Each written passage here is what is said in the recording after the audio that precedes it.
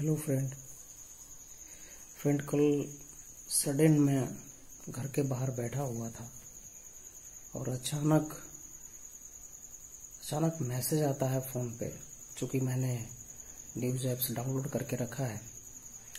अचानक से मैसेज आता है कि सुशांत सिंह राजपूत, यानी हमारे बॉलीवुड के एक ऐसे एक्टर जो बिहार से निकल के इतना संघर्ष करके, इतने कष्ट सहते हुए, इतने इतनी तकलीफ़ सहते हुए जो आगे बढ़े। मुंबई में गए, इतना संघर्ष किया, एक अच्छा हीरो बने, क्या नहीं मिला दोस्तों? चाँद पे प्लॉट खरीदने वाला वो स्टार, बिहार का शान देश का जान। हम सबका प्रिय और मेरे फेवरेट एक्टर में एक। सडन पता चला कि उन्होंने सुसाइड कर लिया। एक पल के लिए स्तब्ध हो गया मैं रात भर मेरे दिमाग में वो चीज़ें चलती रही, जो मैं आपसे शेयर कर रहा हूँ।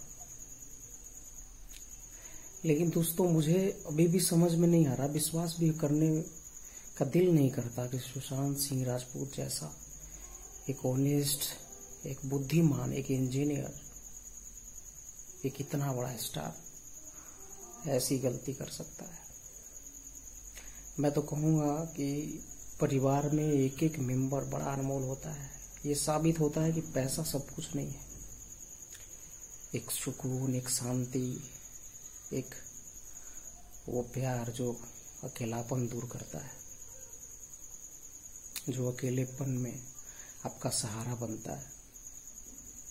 कहीं ना कहीं उस चीज़ की कमी होती जा रही है। आज तो मैं यही कहना चाहूँगा कि एक दूसरे को प्यार बांटे, फैमिली में प्यार से रहे। और सबको प्यार करें। पैसा क्या है? आज है, कल नहीं है। लेकिन परिवार एक बार चला गया तो नहीं आएगा। दोबारा नहीं मिलेगा। अपने अकेलेपन को दूर करें।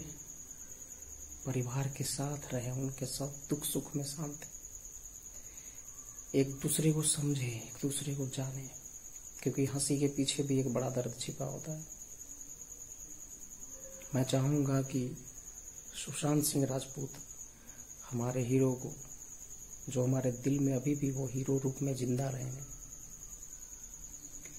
भोलेनाथ शिवशंकर शंभु उनको अपने हृदय में स्थान दे और उनकी इस गलती को क्षमा कर दे, क्योंकि वो एक महान शख्सियत थे, वो एक महान एक्टर थे।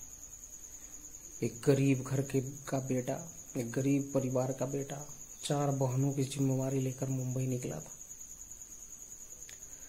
और सडनली इतना मुकाम हासिल करने के बाद, इतने पैसे, फिर भी ये सुसाइड कुछ समझ में नहीं आ रहा है। कुछ भी समझ में नहीं आ रहा है। बस इतना ही कहूँगा कि प्यार बाटी कुछ नहीं है इस दुनिया में।